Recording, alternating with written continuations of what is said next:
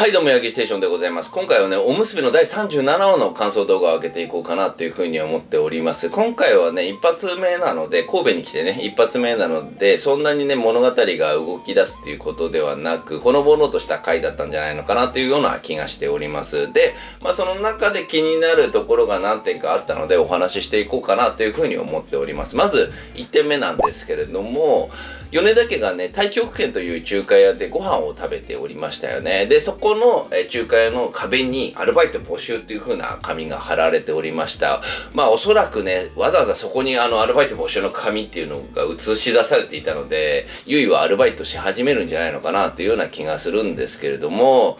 まあ、ここがね、ゆいのこの栄養士のところとうまく掛け合わさっていくんじゃないのかなっていうような気がしておりますね。まあ、仲介でこう実際にお客さんに対して、仕事をするものと栄養士の勉強する学校っていうところがなんかうまいこと掛け合わさってこういい感じになっていくんじゃないのかなっていうような気がしております。でまあその一方で世継ぎのシーンでもあるんですけれども世継ぎがねこうエースの沢田っていうところとまあ絶対負けねえっていうような感じでライバル心を燃やしているシーンがあったんですけどまあそこの対決ってのもあんのかななんてまあでもねあんまりそこは関係ないのでやるかやらないかちょっとわかんないんですけれどもここで沢田が終わってしまうっていうことはないだろうなっていうような気がしております。そして、大極拳の帰りにですね、あの方出てきましたよね。マキちゃんのお父さんが出てきておりました。一人でね、寂しく仕事をするっていうシーンがあったんですけども、で、それを見つめるゆいの父親っていう感じなんですけれども、なんか、こう、ゆいたちを歓迎するしないとかじゃなくて、やっぱり興味がない。もう何でもいいや、どうでもいいっていうような感じになってるんじゃないのかなっていうような気がしておりますね。はい。マキちゃんのお父さん無気力っていう状態になっているので、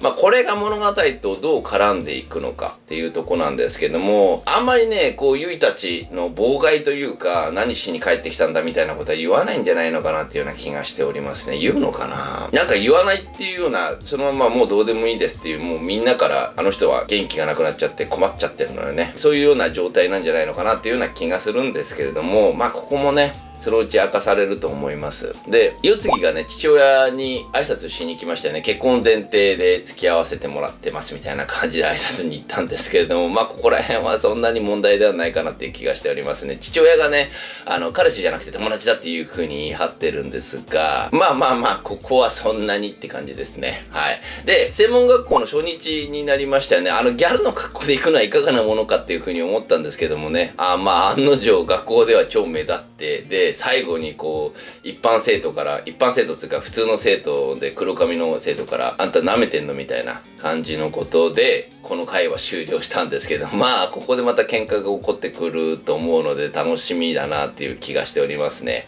で専門学校の先生っていうのも